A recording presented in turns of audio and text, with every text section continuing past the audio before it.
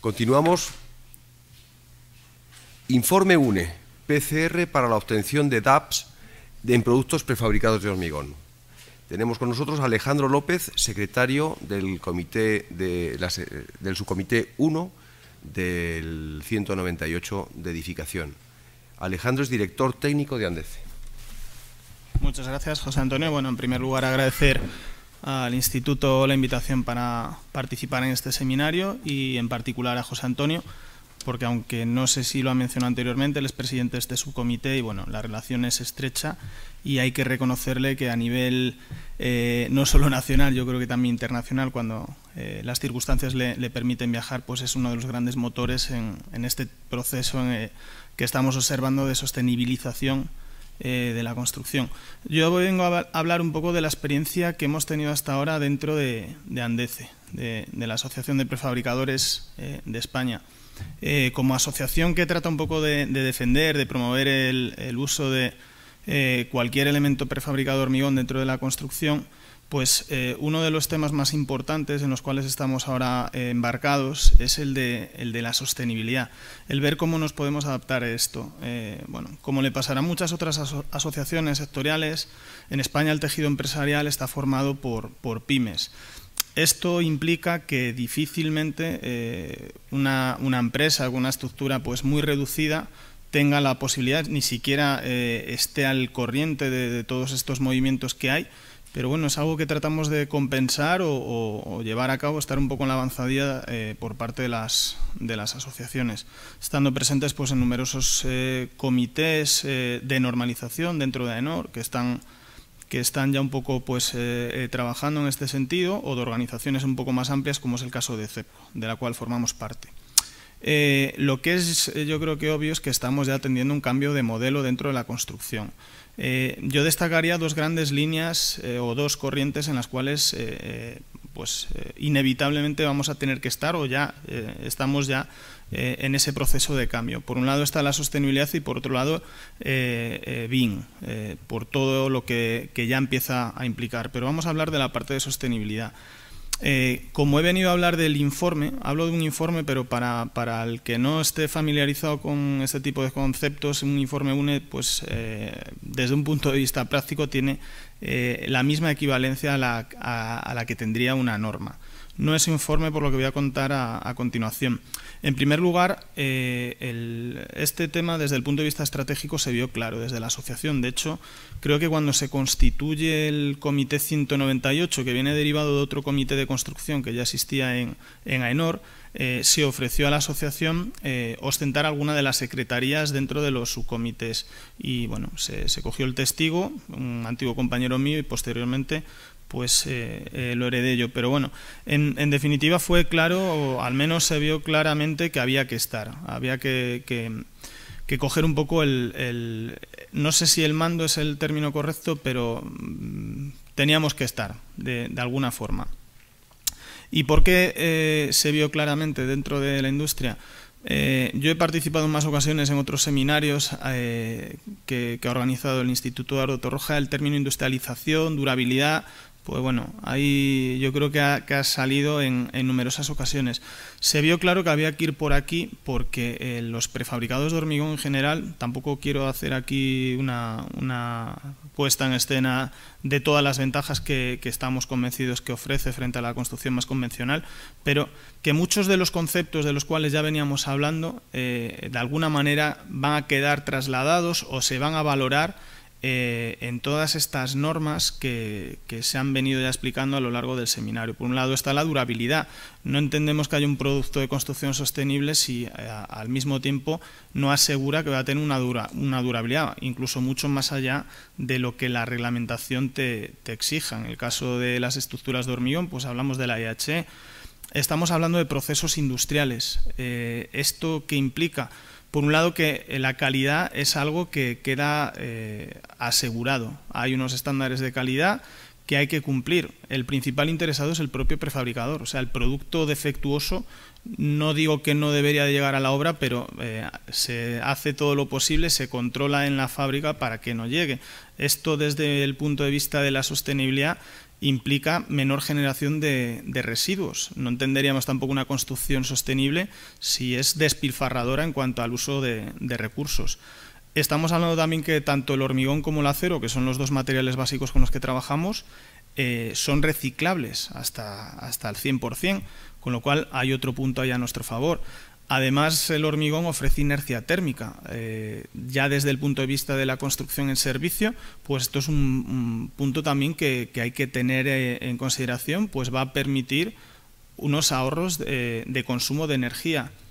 Y por terminar un poco, también otro tema que aquí y el, Instituto está, está, liderando con eh, distintos proyectos, el tema de la descontaminación. Aunque no sea solamente aplicable en elementos de hormigón, pues es una tecnología eh, pujante y que también va a restar eh, en la cuenta final de esos indicadores ambientales, con lo cual tenemos mucho también que, aportar o el proceso de carbonatación de, de los elementos de hormigón una vez están en uso, que que son, eh, permiten absorber eh, CO2. Pero no me voy a meter más en detalle en eso porque creo que no es el, lugar ni el momento. Voy a hablar un poco más de cómo está estructurado este informe barra norma y cuáles fueron las motivaciones de, apostar por ello. Eh, como se ha mencionado por parte de AENOR, a fecha de hoy solamente hay una norma europea aprobada de un material, la madera, y a nivel de prefabricados de hormigón se había iniciado el proceso. Eh, hablamos de, si no recuerdo mal, del año 2013, se empieza a avanzar, se hace eh, conforme a la 15.804 y al mismo tiempo el comité que representa a, los elementos eh, de hormigón in situ, al cemento, había iniciado un desarrollo paralelo y había demasiadas similitudes para, bueno, creo que no hay que aclarar nada al respecto, eh, todos ustedes conocerán un poco cómo está distribuido todo el esquema modular del ciclo de vida, desde eh, la extracción de las materias primas hasta, hasta el final de la vida útil. Y como en principio eh, se iba a apostar por que en la norma quedara reflejado solamente el periodo de, de, de cuna a la puerta, las similitudes que había entre ambos procesos de fabricación del hormigón eran prácticamente idénticos, con lo cual no tenía mucho sentido el desarrollar dos normas distintas. También se ha hablado un poco de la disparidad de, eh, sellos. Bueno, no tenía sentido en ningún caso el llevar a cabo dos normas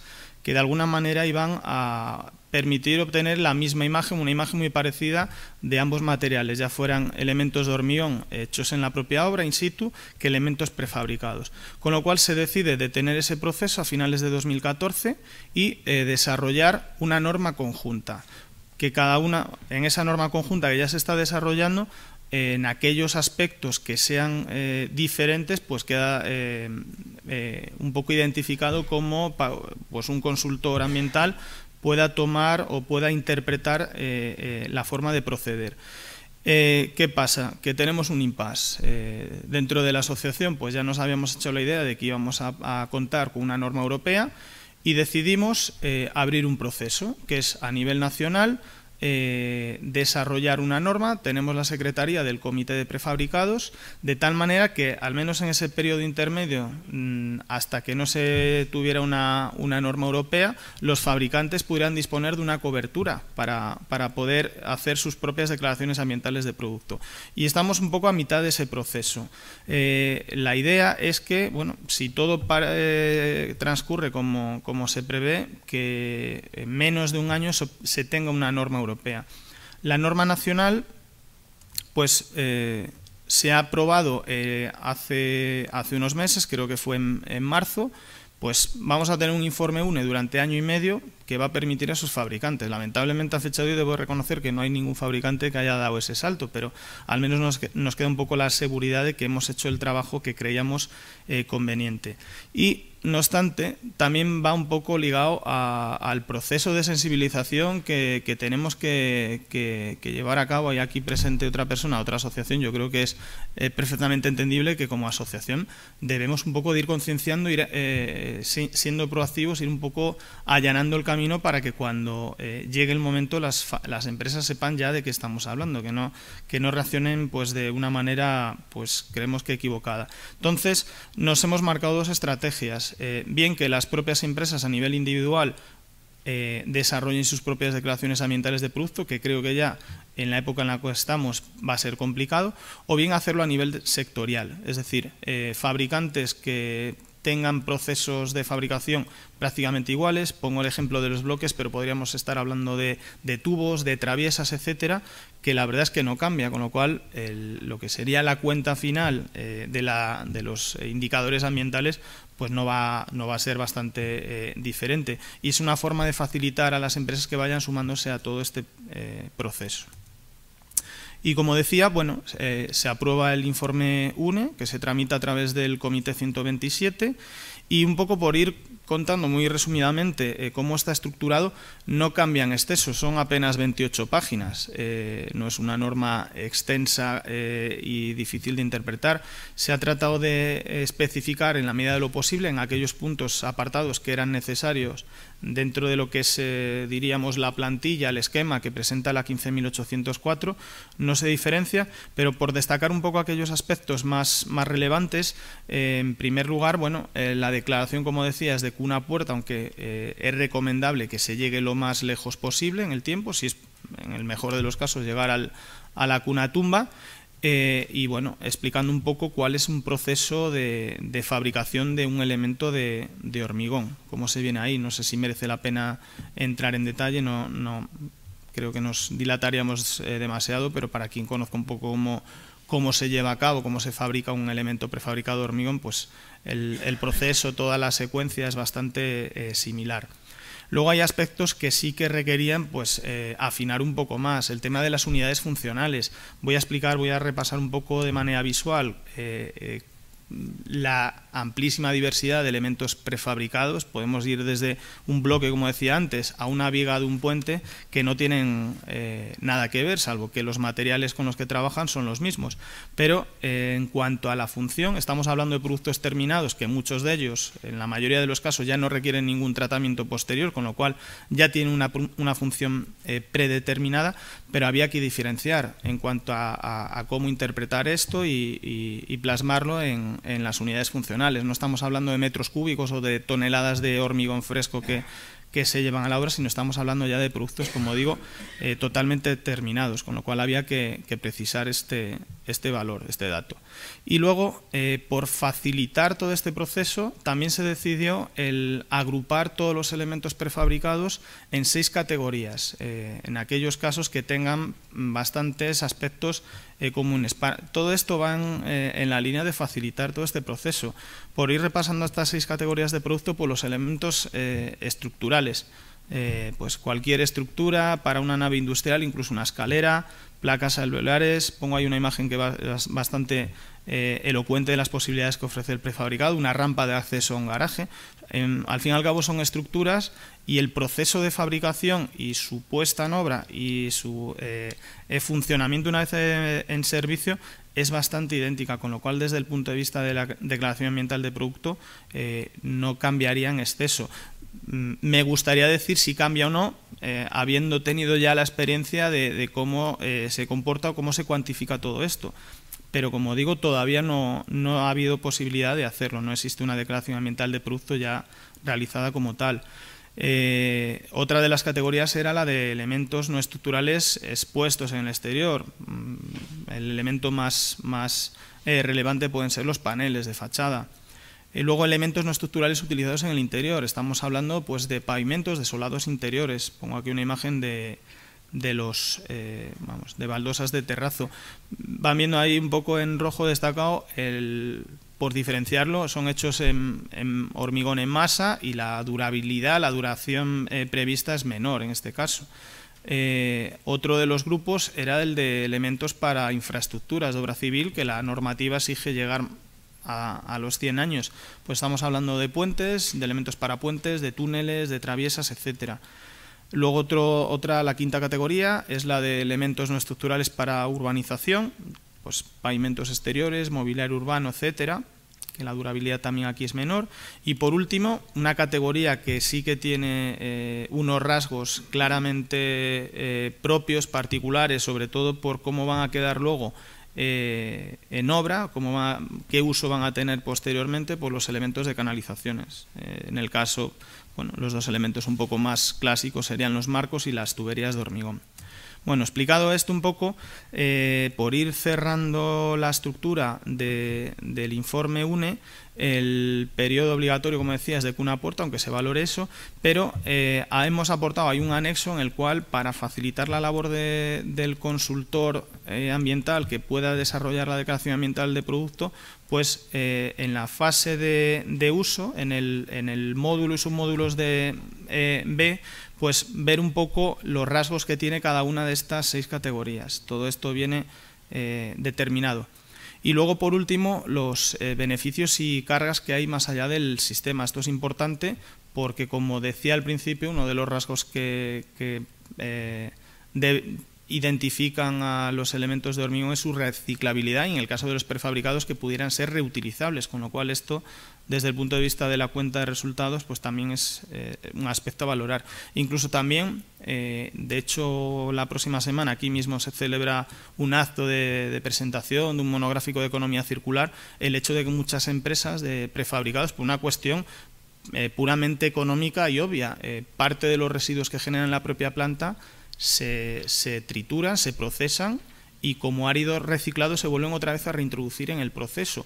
O incluso el agua que utilizan para el lavado de las cubas, todos los restos de agua, pues algunos ya han creado eh, eh, instalaciones de recogida, con lo cual se vuelven a reutilizar. Esto lo han hecho no por una cuestión de que la sostenibilidad o toda este, esta corriente se lo empiece a valorar, se lo acabará valorando, sino por una cuestión puramente económica, que creo que al fin y al cabo es lo que mueve o debería de motivar todo este paso que vaya más rápido.